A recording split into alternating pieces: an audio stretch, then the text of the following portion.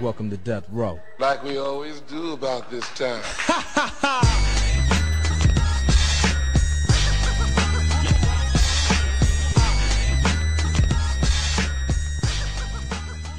I am a building assistant, so I take care of study halls and monitor lunches in the hallways. I think just being around the children in all the situations, each one is different. So I have a different level of communication within study hall, it's different.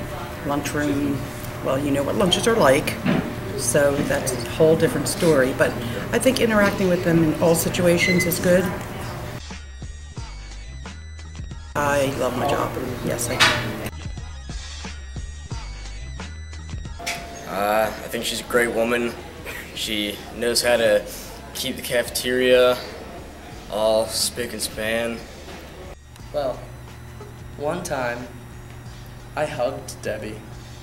Debbie's my favorite. I love her. I I love Debbie. Debbie's my girl. Uh, me and Debbie are uh, me and Debbie are tight. You know?